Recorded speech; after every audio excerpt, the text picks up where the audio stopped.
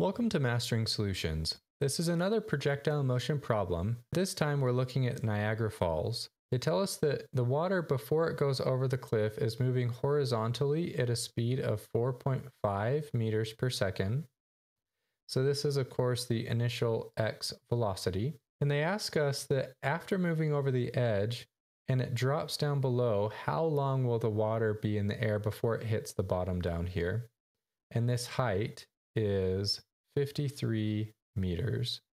We'll say that right here is our y equals zero. So down here, the y final, this is y initial, will be negative 53 meters. As we talked about on the last few projectile motion problems, the same pattern is going to come up over and over. So get really comfortable with this because in some way, I guarantee you it will be on your test. It might not even be a straight up, hey, figure out this projectile motion problem, but it will be on there maybe as a part of a question. So like I said, get really comfortable with this pattern. What we'll do is we're going to use the y component to solve for the time, and then we'll use that time and multiply it by the x velocity to find how far it went from the base of the cliff. Looking at the y component, we'll use the formula of y final is equal to y initial plus the initial velocity in the y direction times time plus 1 half the acceleration times the time squared. The initial velocity in the y direction is 0. The initial y, as we already talked about, is going to be 0 as well. So y final is equal to 1 half the acceleration times the time squared. We'll multiply by both sides of the equation by the reciprocal of 1 half, which is 2. So the 1 half will cancel. So we have 2 times y final is equal to acceleration times time squared. Divide both sides by acceleration.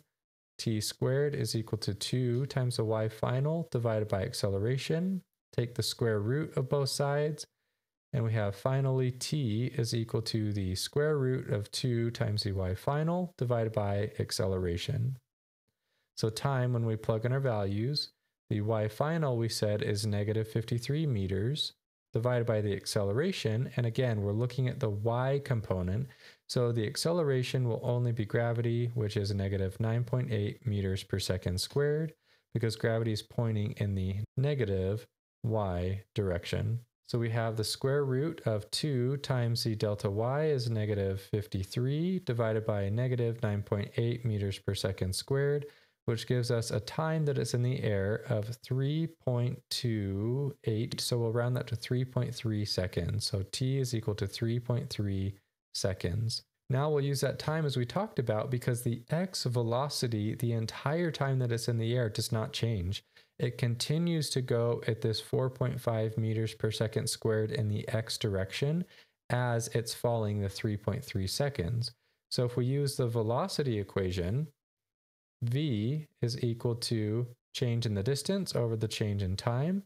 We'll isolate the change in the distance because that's what we're trying to solve for by t now we have the change in the distance that the water was equal to the velocity in the x component times the time.